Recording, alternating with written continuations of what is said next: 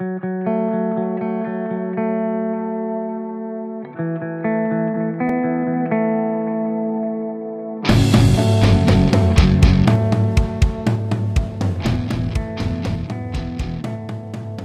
everybody. Welcome to another interview from the mind of a skeptical leftist. I'm your host, Cory, and this time around, my guest is Kaytlin Bailey, who is um, the representative for the Old Pros Project and the host of the Oldest Profession podcast. She can describe it a little better than I can. Um, in in the actual interview, she describes what she does and talks about the organization. And then we get into busting some myths about sex work and sex workers. And I hope that uh, you find it informative. I think it's important for people across the political spectrum to get a more nuanced view and a better understanding of the issues that face sex workers and the way that sex workers themselves want to uh, approach those issues that's I think all I'm gonna say. I've got uh, I've got many interviews in the queue. Um, all all need to be processed and edited, and my production schedule is all over the map these days. So I'm trying to get this stuff out as fast as I can. That means you're often not going to see my face in videos because that takes extra work, and I can't do that in locations where I can do just audio recording. so I'm going to send you over to the interview. Uh, but right before I do that, I have to say thank you for watching or listening to this, and thanks for sharing this around if you do, and because that helps get more views and more listeners. Uh, this show is available on all the podcast places as well as well as YouTube, and I stream on Twitch whenever I get the chance. I want to thank everyone who supports this show. Uh, you can see their names on the end screen of the video. But if you're listening on a podcast, that's where there's like two minutes or so of music with nothing going on. That's when the scroll, the names are appearing on the screen. Uh, so if you want to add your name to that list, then you can do that at patreon.com slash skeptical leftist and sign up for $1 per month. Or if you're in Canada, that's $1.50. That gets you access to a special patron chat room on the Discord server, as well as extra long video, the occasional early access, and of course my deep and heartfelt thanks. If you want to contribute but don't want to commit to a monthly payment, then you can send a one-time donation to buymeacoffee.com slash skepticallefty. And if you can't afford to send any money, then just share the show around, give it a thumbs up on YouTube or a five-star rating or a review on the podcast app of your choice, as well as Podchaser. Anyway, I think that's everything. Thank you so much for being here, and I hope you enjoy the interview.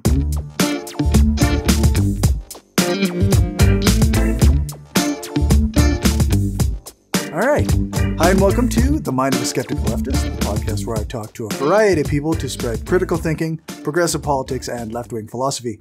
And today I'm joined by uh, Kaytlin Bailey from the Old Pros Project. Thanks for joining me. Good. Thank you so much for having me. Um, so yeah, sorry, I, am the the founder and executive uh, director of Old Pros, and so we perfect. are a nonprofit media organization focused on creating the conditions to change the status of sex workers in society. That's awesome. It seems I uh, so the show or the project has multiple facets, right? Absolutely. Like yeah, we produce two podcasts. We have the Oldest Profession podcast, which does a deep dive into sex workers from history. We have Old Pro News, which covers current events, uh, you know, through the lens of sex worker uh, sex worker rights. Um, we funded projects across the country elevating public art and trying to remind communities that sex workers have always been and will continue to be a part of the story. Um, you know, we go to conferences, we publish op-eds, you know, we're we're doing thought leadership, we're out there trying to identify and activate supporters. And specifically, we create, you know, sort of persuadable, shareable content um, targeting, you know, the persuadable but not yet persuaded. There are a lot of folks that recognize that um, you know criminalizing and censoring the internet um, is not going to um, eradicate the oldest profession, which not only predates the internet but also predates money. Um, but right. you know, it's sometimes hard to come up with talking points or facts uh, when you are bombarded with you know sex work exclusion, uh, you know uh, propaganda, frankly, conflating right. erotic expression with violent exploitation, which is the big problem. For sure. Yeah, that's uh, there's a lot there. totally. Um, so I guess before we get too far into it, uh, what's a little bit about your uh, from your background? What got you into the old pros? Sure. Yeah. Project. Um, well, I came to sex worker advocacy rather reluctantly. Um, I was a stand up comic for almost a decade, touring the country, uh, making not a living, uh, but building a life, uh, telling jokes to strangers in basements all over America. Um, but when Donald Trump signed SESTA FOSTA into law in April of 2018, and SESTA FOSTA stands for Stop Enabling Sex Trafficking Act and Fight Online Sex Trafficking um, Act. And it's the federal government's latest effort to eradicate um, prostitution from the internet. So this is when Backpage was seized by the FBI. This is when Craigslist went down, Rent Boy, lots of platforms that my you know friends and colleagues had been using to schedule and screen their clients. These are places on the internet that sex workers had invested decades in you know creating harm reduction harm reduction tools right and sharing that information with each other so as soon as that happened I saw the impact in my community immediately, right? People mm-hmm. became, mm. um, people became homeless. People returned to, uh, you know, abusive relationships. People started engaging in riskier forms of sex work because the rug had really been pulled out from underneath us. And right. all of this had been done in the name right, of protecting vulnerable people when what right. it did was exasperate the survival, uh, the urgent survival needs of vulnerable people, right? We didn't help a single victim. Uh, we didn't rescue any sex slaves. What we did is we pushed an already uh, criminalized and marginalized community further underground. We know what prohibition does to markets. It doesn't make them safer. And so that was right. really an activating moment for me. And so I, you know, at that point, I was already running the oldest profession podcast, really like, you know, as a comedian, right? Of like, eh, sex workers in history, we're the best, you know. And uh, you can actually kind of hear me get um, radicalized, activated, uh, too angry to be funny, however you want to put it, uh, on the podcast uh, in the immediate aftermath of the passage of Sesta Fosta. And so um, I got more involved in sex worker rights. I accepted the position, or I accepted a position as the founding communications director for Decriminalize Sex Work, which is a national advocacy organization. And I spent two years talking to legislators all over the country about what we've gotten wrong with legislation okay. and policies when it comes to sex workers. And I found that politicians are really open to, you know, the detrimental impact of further criminalizing a marginalized community, but they're right. also terrified of their own constituents and pushing back against the oldest stigma. And so it became yeah. really clear to me that we aren't going to get anywhere good policy wise on this until we really invest in culture change. And so I left my, you know, I left decriminalized sex work and I founded Old Pros, where we focus on creating content and bringing people from like a really broad, uh, you know, broad ideological backgrounds, broad, you know, socioeconomic, cultural backgrounds, but just anyone who thinks it is wrong and dumb to spend taxpayer money sending SWAT teams into immigrant owned massage parlors to crack down on aggressively consensual hand jobs, right? Like, I don't care where you're at on the political spectrum. If we can just get behind, uh, ending, ending that practice. And so we invested in um, you know, the history podcast, we brought on a PhD historian to help create annotated bibliographies and create more of a resource, right? Trying to get these stories out there. Um, we launched Old Pro News. We funded art projects all over the country. We connected to sex workers who are self organizing all over the country. And we are here to try to preserve uh, that history, past and present, and to change the story um, about the oldest profession because we're awesome, Some, actually. Uh, Sex workers are great. The, sure. I, I, I often like. I understand. There's a lot of things that people are concerned about, right? Like, uh, I I hear feminists who are saying like that sex workers uh, perpetuate uh, beauty standards that are unattainable or un, un not not the norm. They're just unquote. not hanging out with the right sex workers because we, uh, it's always, sex workers have always been all kinds of people uh, of all genders yeah. and all body shapes and all ages, actually. right, right. Yeah. yeah and I, and, yeah. and I, I, I actually want to push back further on that and say sure. that um, I believe that whorephobia is the foundation upon which misogyny sits right? Like without whorephobia, then Mary Magdalene would have been considered a leader in the Christian church, and we would not have been able to create social institutions that legally prohibited women from speaking or preaching for over a thousand years. Sex workers right. have been occupying public spaces and have been in uh, rooms where big decisions have been made hundreds and hundreds of years before the feminist movement made that more accessible uh, to women who were not willing to sacrifice uh, their chastity or their reputation for freedom of movement and freedom of expression. And I mean, sex work is work and it is also sex and it is many things to many people. The acknowledgement that violence and exploitation occurs within the sex industry is not to say that engaging in sex work causes that. Um, I have bad mm-hmm. news mm-hmm. for carceral feminists who believe that by eradicating prostitution, we can eradicate exploitation. The, according to the Depart- U.S. Department's uh, own labor statistics, the overwhelming majority of people who are violently exploited in this country are trafficked into uh, textiles, are trafficked into mining, are ta- trafficked into agriculture, domestic right. servitude. We absolutely have a problem with violent exploitation in this country. The number one source of violently coerced labor in the United States is actually our own prison system. So I am happy to have a conversation about ways to reduce violence and exploitation, but arresting the most vulnerable amongst us isn't going to get us any closer to that goal ever. Yeah, for sure. I uh one of the I, I read uh, the book Revolting Prostitutes a few excellent, years ago. Excellent work. and, and it's one of the, like, they make the case that uh, a lot of the uh, women who are, I guess, trafficked into sex work mm-hmm. are immigrants who uh, have been brought over by coyotes and stuff. But they don't, they talk about how the, uh, the policy changes for that isn't to make those women into criminals. It's to change the border situation. I, it, totally. I mean, you want to talk about systemic ways of ending exploitation. I will also tell you that the over, excuse me, I will also tell you the overwhelming majority of of you know people who are trafficked in the U.S.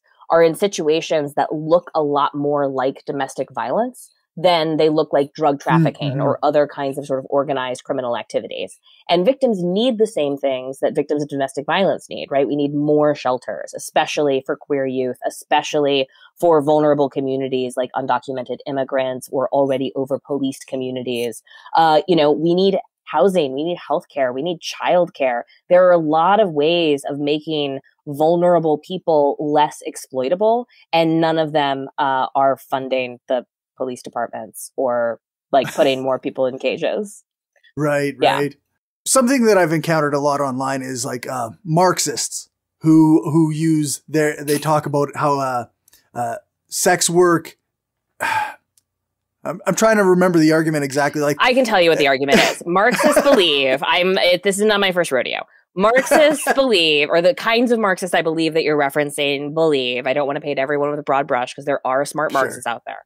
But uh, these Marxists believe that in a utopia, there would be no sex work, right? Which post revolution. Right. Yeah. cool, dude. Except our oldest deities, right? Before fiat currency, right? Before capitalism, worshipped at the altar of unapologetic whores, right? Ishtar, who is one of the oldest goddesses that we have written records about, right? Was born a virgin every morning and went to bed a whore every night she uh, embodies sort of the duality of feminine power of which you know erotic expression is an integral part right? So like uh, you know priestess prostitutes are a part of our a part of our history um, and stepping into the archetypal whore is something that predates money predates capitalism certainly predates industrial capitalism. You want to talk about utopias i'm really looking forward to a system where we all have the freedom to, uh, to you know, to have children and to have uh, systems of integrated community care where we can share the labor. But I am confident that all kinds of people are going to be stepping into their Ishtar energy and channeling erotic energy uh, for the exchange of money or something of value, even in a utopian future. And if free of uh, yeah. Uh, capitalist coercion. I mean, does anyone want to go to a party where like sex workers don't exist? You know, like I mean, like come on, guys, really think think about the utopia you're building. Uh, sex workers are the coolest, and to try to eradicate us is not wise or good or leftist or especially Marxist. Also, Marxist was an insufferable sexist. So there. So there's that. yeah. Yeah, it's it seems like uh, the the post-revolution uh, argument like even if you envision a, a post-revolution without sex workers who are coerced by capitalist needs, sure, right? Totally. That's not the world we live in. Right. So, like, so, to try to get to that utopian future faster by arresting more of us feels yeah. dumb. Just feels dumb. You know, like not strategic. Right. Yeah. Yeah, I, I have to agree with that. it doesn't seem like the best move. Right. yeah. I mean, I also look forward to a future where nobody um, engages in exploitative labor. You know, like there are not every job is for everyone. I could never work in a slaughterhouse, for example, but right. I assume that like in a utopian future, there there are people that will do that work. Same thing with, um, you know, there there there are a lot of exploitable jobs out there. I understand that prostitution has become a symbol into which we pour all of our nonsense. But if we really want to go after exploitation, let's talk about what we mean um, instead of projecting um, all of our biases into the old onto the oldest profession. I'm curious. Uh, right now, we're seeing a lot of discourse online about uh, like trans people and grooming, sure. quote unquote grooming, and I'm wondering how that's affecting uh, the uh, sex work industry? Moral sex panics have always impacted the sex worker community, the queer community, uh, the kink community, and women generally, right? Uh, white women, right, become the sort of the symbol, right, that is used to justify all kinds of violence in the name of protecting us from exposure to uh, you know, the amorous right. affections of people outside of, uh, you know, white landowner bros or whatever. Uh, A lot of that, uh, you know, we become infantilized in that, and so there's this this projection of like white women and our children, um, and it's used to justify all kinds of violence. Right? This was there was a moral sex panic um, in the wake of Reconstruction. Right? That was like mm-hmm. the uh, the energy that really galvanized uh, lynching and white terror um, across the, the, the South and also uh, actually um, all over the North. There are sundown towns um, everywhere. It turns yeah. out uh, no one is free from their racist history.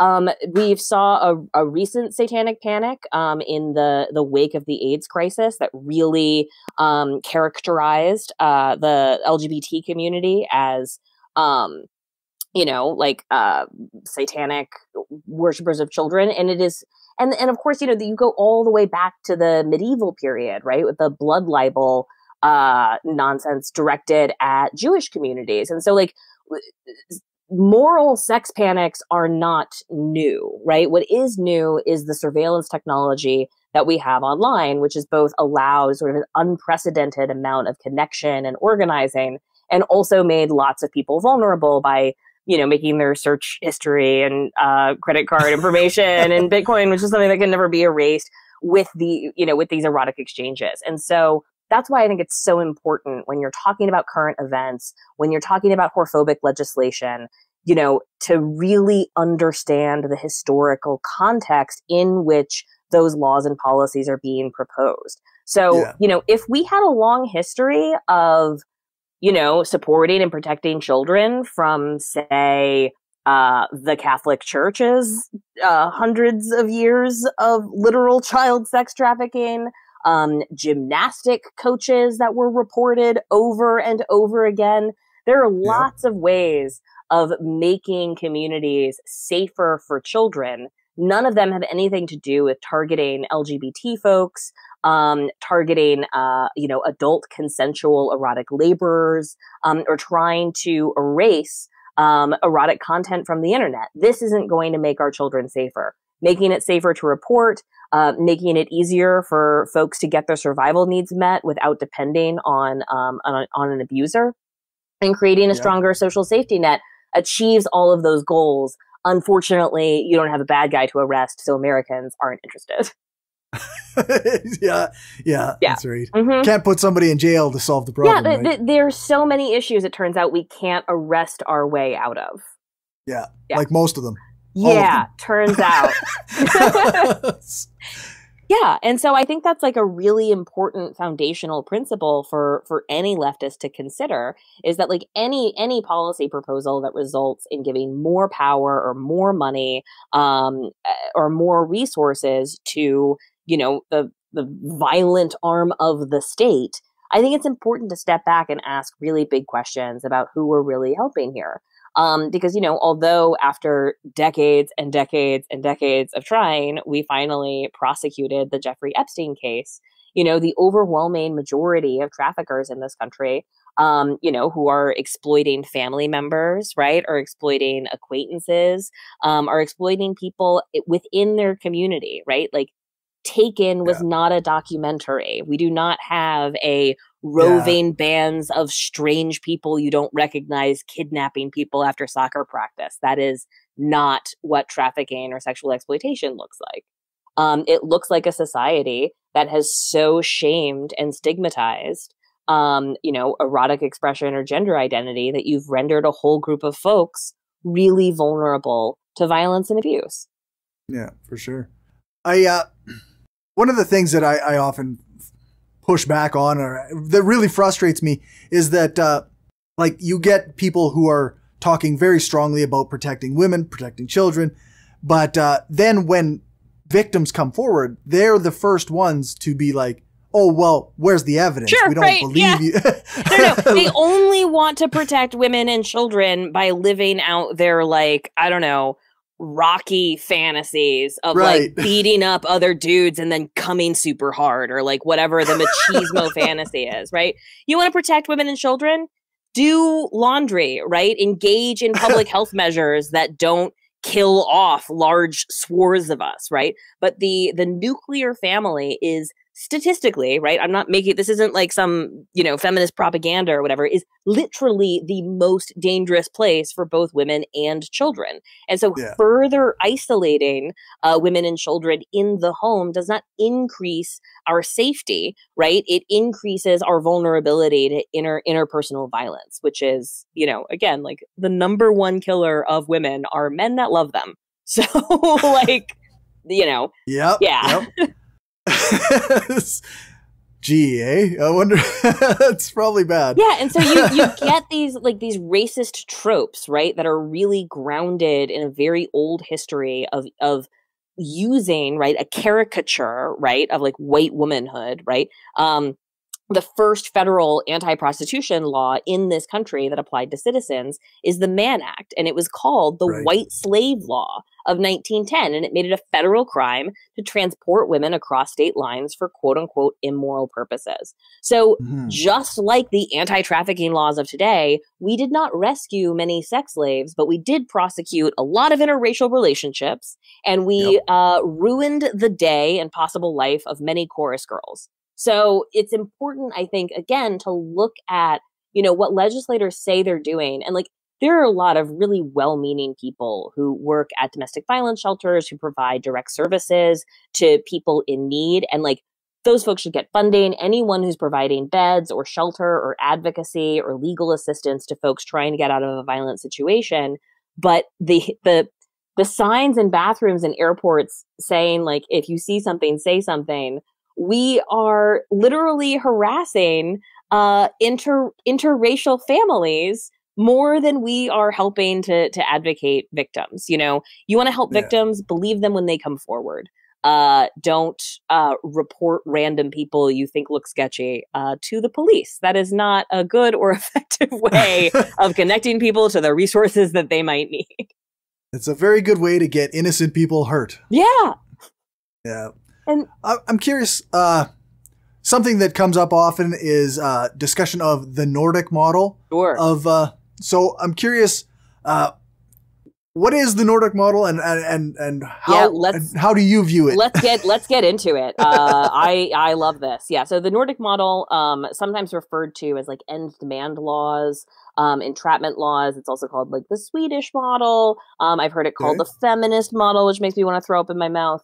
But this, the the basic theory uh, of this law is grounded in the idea that the overwhelming majority of people um, in the sex industry are victims of violent exploitation, and that uh, negotiating consent with a sex worker is the same as violently raping them.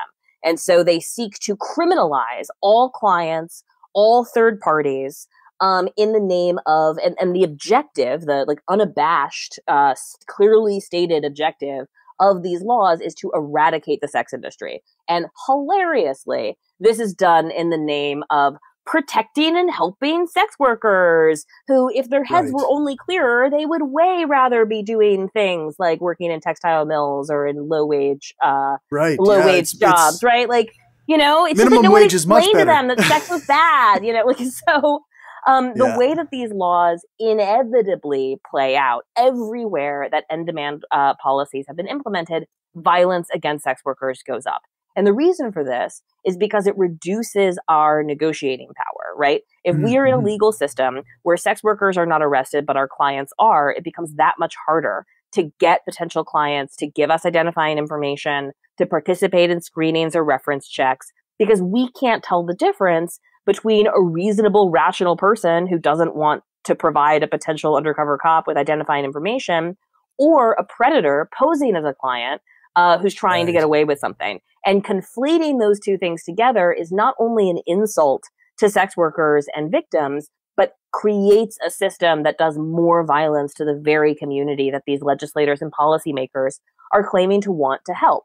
Um, the other way that this law plays out is increased stigma and legal barriers uh, to working with sex workers, right? Because landlords um, are targeted there right. was something in, um, I believe it was Sweden. It could have been Switzerland because I'm an American. I get those places mixed up. But uh, one of those places, uh, something called Operation Homeless, um, helpfully identified sex workers as potential victims and then alerted their landlords to the fact that they were sex workers and let their landlords know that if they weren't evicted within 72 hours, that they themselves would face pimping charges for living right. on the proceeds of a prostitute right? Yeah. It makes it impossible to be uh, roommates, to do, there, there, are all kinds of safety measures that sex workers need to use only within the context of a community. When you criminalize that community, you reduce our ability to self advocate, you reduce our ability to take steps to keep ourselves safe on the job.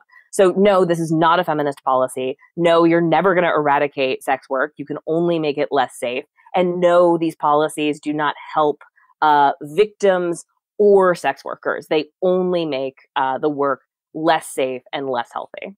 Back to uh, SESTA FOSTA, that was, I think, one of the points people made when that came out is that now sex workers couldn't communicate amongst themselves about who was safe and who was not correct safe. yeah a lot of these messaging boards had places for providers to connect with one another to trade bad date lists to trade uh, harm reduction tips and techniques all of that became conflated, right, with promoting prostitution. Platforms became afraid of the liability risks that they incurred by hosting that information. And so now you have like a whole generation of sex workers that are getting into the game without the ability to do what sex workers have done for hundreds, if not thousands of years before that, which is connect to their older uh, sisters in the trade and exchange information mm. about how to keep themselves safe. Yeah, that's not. Uh, I, that's not progress. For, that doesn't sound like progress to me. That nope. sounds like endangering people. Mm-hmm. Yeah. So, uh, I guess that Nordic model, like, is that's kind of also the difference between legalization and decriminalization. No, those are different. So okay, that's yeah, different. So that's a, that's a, that's important to say. You're you're hitting all the highlights, Cory. Thank you, thank you so much for preparing. This is perfect. Yeah. So um, it's important to distinguish legalization from decriminalization, right? So decriminalization is what sex workers all over the world are asking for, which is to remove criminal penalties for engaging in this work, meaning that no one should be arrested, evicted, fired, or lose custody of their child for engaging in this work. What legalization does is it creates a regulatory structure that essentially creates a legal monopoly and it takes all of the mm. power of the state and all of the power of like pimps or managers or madams or third parties or whatever and concentrates it uh, amongst a, a, a, select few, right? So Nevada is the best example of this, right? So Nevada is the only state in the United States with legal regulated prostitution, and it has right. the highest arrest rate per capita for prostitution related offenses. And the reason for that is because it is uh, maybe not impossible, but often inadvisable to work in a brothel where you have to legally register with the sheriffs as a licensed prostitute, right? Which is a subpoenable fact about you for the rest of your life. You can imagine how this comes up in child custody cases. Um, you have to be hired by a brothel, which are like no- notoriously misogynistic, uh, you know, sort of white supremacist spaces. Uh, that you know, so if you are a uh, you know disabled person, if you're a person of color, if you like don't fit into uh, the rather narrow scope of like female beauty standards that you know feminists think that sex workers are upholding, when really it's it's a whole different it's, a whole different conversation, right? That's not on us.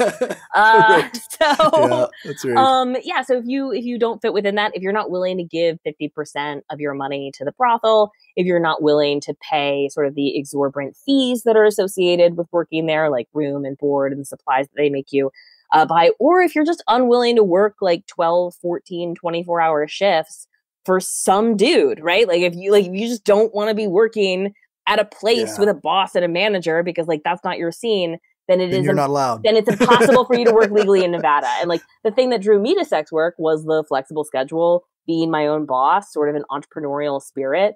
Um, and I would hate working at a brothel for all of the same reasons that I hated working at a restaurant.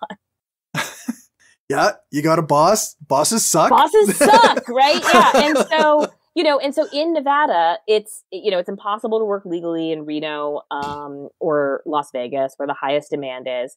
And like, I would be much more open to legal protections or creating, you know, some kind of licensing or regulatory scheme if we didn't live in such a notoriously and deeply whorephobic culture. It's right. really important to remember that any laws constructed around this are not going to be coming from a place of increasing safety and negotiating powers of workers, but rather sort of os- isolating, ostracizing, um, and ultimately erasing us, right? So, like, I don't feel comfortable encouraging anyone to get on any stigmatized lists in this country. I don't encourage right. anyone to trust their personal identifying uh, data or information around this this stigmatized issue to anyone, but of course, least of all, a, a government agency.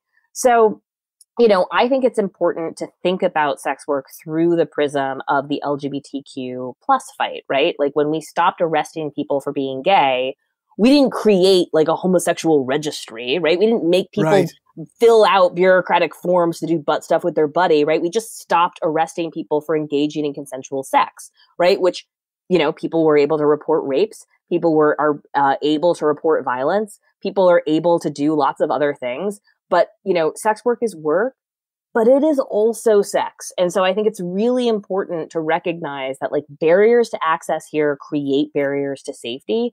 We want mm. to stop arresting people for engaging in consensual sexual activities whether money is exchanged or not right? You want to talk about licenses for brick and mortar establishments right brothels that employ, employ more than a few people. Strip clubs, I think, are an obvious example here. Uh, there are already legal forms of sex work that engage in sort of like regulations. That's fine.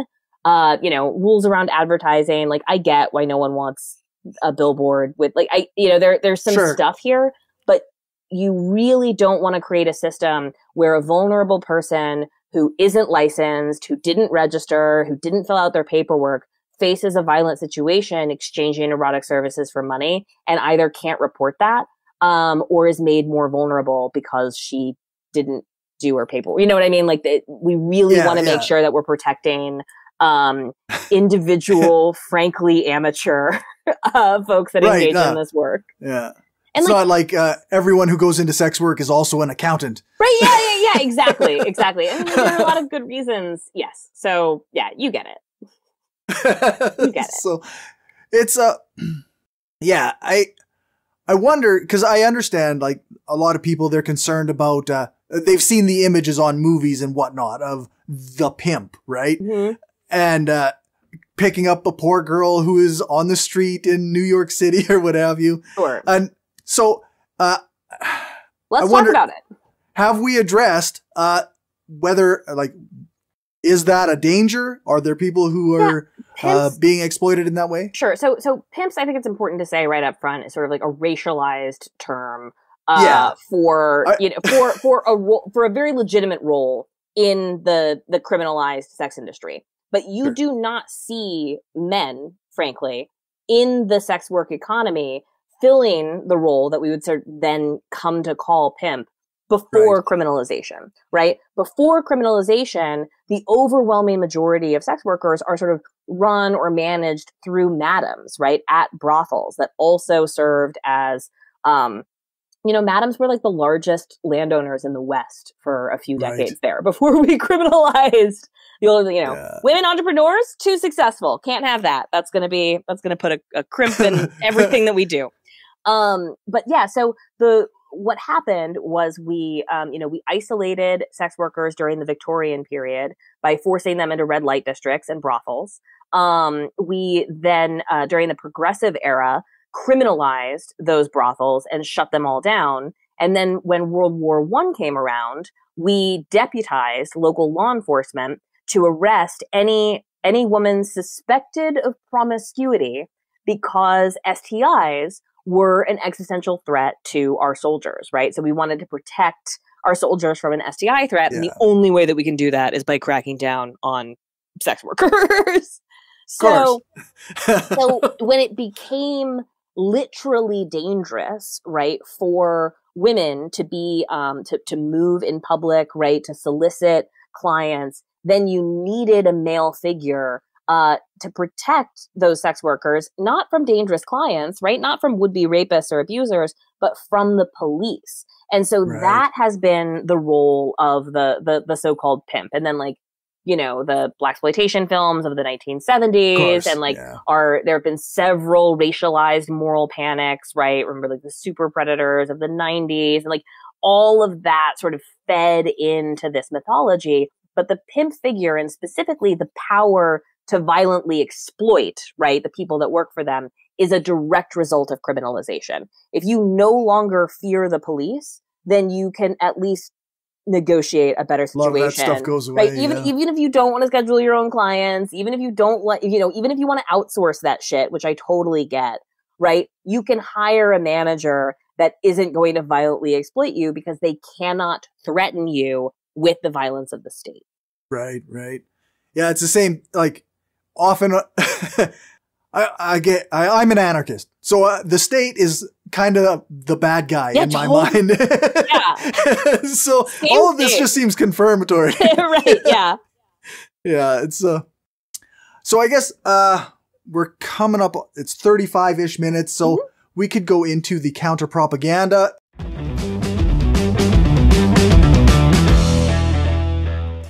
It's uh, you say uh, trafficking. Most of what we think is recycled from long debunked myths about white sla- slavery. correct Um, I remember uh, when I it had to be ninety nine, two thousand, somewhere in there. Hmm. Uh, there was there was talk about uh, if you went on a, if white women went on a cruise, then they would be kidnapped by pirates and sold into sex slavery. Amazing. Wait, like our pussy's just not that good. You know what I mean? Like we've been sold, we have been sold a load of shit, frankly, about like how amazing or whatever white women are, and it's like, no, there are we people, women, children do not need to be kidnapped, right, and violently forced at gunpoint or some other coercion into this work. There are enough volunteers everywhere you go, there are perfectly reasonable, attractive people who would rather be exchanging erotic services to get their survival needs met than working at a textile mill, working as a at a restaurant, right? 1010 can confirm. Uh, you know, so like it, you it, it, we have this myth that is really grounded in this false belief that sex is one of the worst things that can happen to a person. And it's yeah, bananas to me that we keep having that conversation with fully functioning adults that have like a full and active sex lives themselves. And they're like, no, no, no, no. If we introduce money to this, it becomes the worst thing in the yeah, world. that's right. it, it transforms sex into coerced sex. Totally. and like coerced sex is bad, but so is every other form of violence. And again, if we want to crack down on violent exploitation, there are real steps that we can do to do that. But criminalizing the consensual exchange of erotic services is not and has never been one of them. Yeah, yeah. I, I think I had a conversation a, a few weeks ago with somebody who said that they were on board with the online, uh, like e-girl type, uh, sex work, but full service sex work, they, they were fully against that. And it seemed like there was a bit of a disconnect there for me. Like, if if there's exploitation in one, then it's exploitation in both, right? And I if mean, it's not, everyone gets to negotiate their own boundaries, right? Yeah, so for like sure, I, for for sure. example, as a full service sex worker, am way more comfortable negotiating consent one one on one with a human being that I can see in the room, right? That's my Right. preference. Rather than providing images, right, on the wild west of the internet, right, where I have no idea or no control about what could happen to those images after, you know, our exchange, right? I'm often negotiating with an anonymous person, right? I don't I don't know and have no way of like trusting, you know, who who I have a transaction with. Um, you know, there are there are folks that work in, you know, uh brick and mortar places like massage parlors or strip clubs, right, where they don't want to do any advertising, they don't want to do any one-on-one negotiation. They want to show up, go to work, do a shift and go back. So everyone kind of has their own preferences that they're negotiating within. sure. And that's why, I mean, sex work is so many things to so many people. But what it sounds like is this person is like skeeved out or whatever at the idea of physical contact with another human person. And then this, but they could see why, you know, you know, like masturbating in front of your camera is not violently exploitation, which like good on them. Like great to, great to take the leap having there one. that like how jerking yourself like in the privacy of your own home is like maybe not the most violently exploitative thing that you could ever engage in. Um, but you know, like I wonder if this person how they feel about massage therapy. I wonder how this person feels about the entirety of the medical profession. Like there are lots of human contact job jobs out there that involve way grosser stuff than semen. yeah, I mean, you should. I, Yeah. I'm friends with lots of nurses, and you should hear the stories. But even like, I worked in fast food restaurants, and some of the stuff you deal with in fast food restaurants is pretty gross. I had to clean up human feces when I worked as at a Starbucks on 53rd Right. and Lex. Like that's something I never would have consented to as a for minimum worker. wage, probably. Yeah, for yeah, for not for n- not enough money and not enough health care. Yeah, for sure. Yeah. Um. Well, I don't know. Is there anything that we haven't covered that uh, we should talk about? I mean, I want to say like if you're if you're intrigued by this topic, uh, I I'd really encourage you to check out our work at oldprosonline.org. We have a newsletter that goes out every Friday. That's a roundup of sex worker rights related news, um, events that sex worker organizations um, are hosting. We talk about the content that we're producing. You know, if you want to learn more about sex workers from history, there's a lot of good stuff. Uh, we're um, online at oldprosonline.org. Awesome. I uh, I listen to the podcast regularly, and it's I quite enjoy the history of it. Uh, Thank you. It's uh, it's it's really interesting. I think a lot of people could probably take a a page and actually learn something about like the. It's a very Puritan culture within America and Canada Totally. as well. Like Yeah. and maybe if we were a little less ashamed of sex, we wouldn't be so. Yeah, it's, you know, like maybe we could be more ashamed of the racism. You know what I mean? Like if we're gonna crack Right. down on something, but like I don't know, titties out is just not like I don't know a national security emergency. Right, right.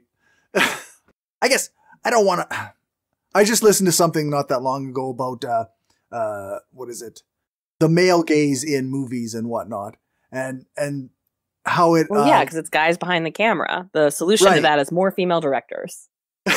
yeah, yeah, that's right. And how uh, these the male gaze has kind of painted a lot of our current perceptions about women and and sex and and whatnot. And and uh, yeah, it was really informative to me, but also like sometimes it had like an anti-sex work kind of Mhm. bent to it, and I didn't really I don't know. I don't jive with that so much. totally. I mean, like, yeah, we live in a misogynistic culture. We live in a white supremacist culture. We live in a, a colonialist culture, right? Like, we are swimming in the the water of of many problematic beliefs that have been handed down to us over the course of hundreds of years, right? Um, but sex workers, uh, rather than sort of contributing to like the patriarch patriarchal false beliefs, actually serve as sort of counter uh, counter messaging. Uh, Barbara right. Brents just completed an incredible uh, sociological study um, on clients of sex workers, and she found, rather shockingly, that men that self-report having, uh, you know, engaged with professional sex workers, right, you know, using their services, self-report more feminist beliefs than men that don't. Um, as I said before, sex workers have been in spaces, right, that feminists have been fighting to get into for all of human history. Sex workers have been a big part of the conversation, and the stigma and criminalization of sex work has done more to exclude women from public spaces than really anything else. It is actually whorephobia, right? Um, I mean, think about it, right? Public woman is a euphemism for prostitution but it also literally means visible woman, right? Woman right. participating in the public discourse. And so when you tie uh, women fully engaging, right, in the public square, right, with a dangerous promiscuity or whatever, you create the foundational beliefs that have been used to exclude women from public spaces. So whorephobia and misogyny are deeply tied. Uh, and I think that by eradicating and questioning and pushing back on one, you end up pushing back and sort of dissolving the other. I don't think it's possible to maintain misogynistic beliefs, right? If you are willing to let go of whorephobia, right? If you right. let go of the idea that the kinds of sex or the circumstances uh, that people engage in is not the full measure of their worth as people, then a lot of the false beliefs that limit the freedom of movement and freedom of expression of women um, and you know gender nonconforming folks dissipates because we have less to police. Yeah, I uh, when you're talking about that, it made me think of like the reaction that women who are politicians often get. Mm-hmm. Be- just by existing yeah, in the when Donald Trump called Hillary Clinton a nasty woman, right? He was calling her a whore, right? It doesn't right. matter if you've ever engaged in sex work. It doesn't matter if you've ever participated yeah. in the exchange of erotic labor uh, you know, for, for money or something of value, people can just call you a whore for talking because that's what that word used to mean, right? Is mm. women that talk. So, right. you know, are, I find the, you know, sort of, uh, carceral feminist strand uh, within the feminist movement deeply confusing. Um, it hurts. It hurts a lot to see you know would be allies hurling um, gross whorephobic insults at their their sisters in arms when we are fighting right. for a future where people of all genders can fully participate and fully pursue their passions